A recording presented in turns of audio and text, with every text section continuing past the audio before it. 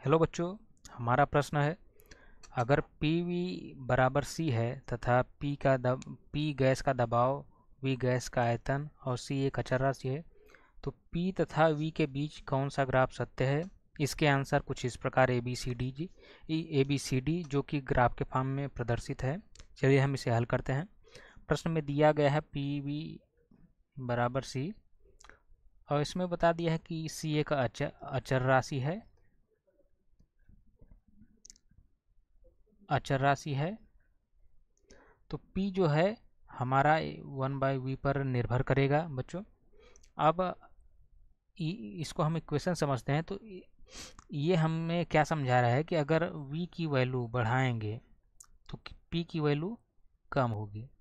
अगर V की value कम करेंगे तो कि P की वैल्यू बढ़ेगी।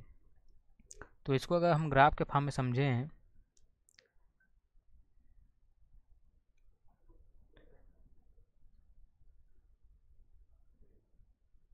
तो बच्चों,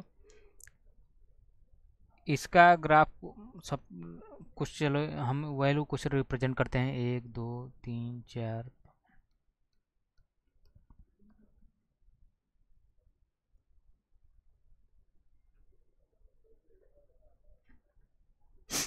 बच्चों, v की वैल्यू सपोज़ डेट हम एक लेते हैं तो कि p की वैल्यू एक होगी।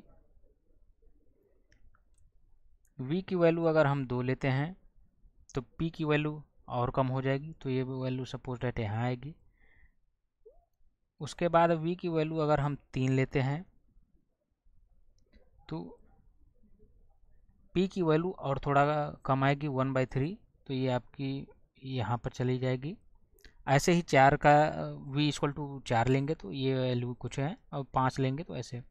साथ ही जब वी की वैल्यू हम कम लेने लगेंगे सपोज़ एक से कम लिए तो हमारा जैसे वी की वैल्यू ज़ीरो पॉइंट नाइन लिए तो ये वैल्यू कुछ यहाँ पर आएगा तो ये आपका बढ़ के one by nine one by nine एक से बड़ा होगा तो ये कुछ पॉइंट यहाँ पर आ जाएगा। साथ ही जैसे वी की वैल्यू हम फिर से लेंगे ज़ीरो पॉइंट एट ले लिए बच्चों तो ये वैल्यू कुछ ज़ीरो पॉइंट एट एक से और थोड़ा सा ऊपर होगा तो यहाँ होगा। तो अगर हम इसको ग्राफ के फार्म में देखेंगे तो ये वैल्यू कुछ ऐसे बढ़ती जाएगी। पी की वी का मान जैसे जैसे कम लेंगे पी की वैल्यू ये बढ़ती चली जाएगी।